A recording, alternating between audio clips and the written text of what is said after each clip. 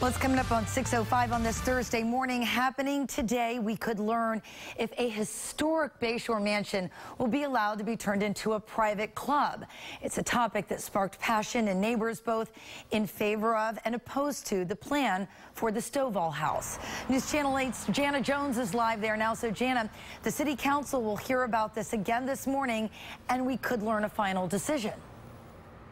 That's right. Good morning to you, Gail. Many people say that this house is a land of opportunity, while others say it would be a nuisance to this quiet neighborhood. In fact, this is how many complaints were presented to Tampa City Council last month, and this is why.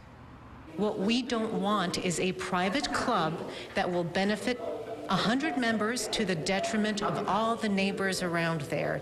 And that's what we don't want. We don't want the extra commercial traffic.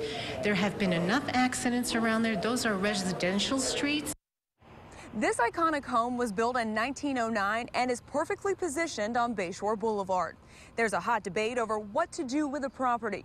Owner Blake Casper tells us he has plans to renovate parts of the home and turn it into an exclusive membership club, saying it would be beneficial to the community. By doing that, many who are against it fear it would give way to more developers coming in to build high-rise condos. Casper says he'll do as much as possible to protect the community's privacy.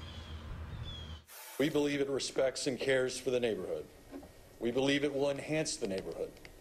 We believe it will be a community asset for Tampa. We will protect the neighbor's peace and privacy. Now, the last time there was a meeting on that, it lasted for more than four hours into the early morning hours. That vote came down to four to two in favor of this private club coming here. So again, that meeting, the second meeting will happen later this morning. Of course, 8 on your side will let you know what happens, but it is likely that this project could get the green light today. Gail? You know, I had a chance to tour the home, and no matter how it turns out, I hope it stays standing. All right. Thank you, Jana.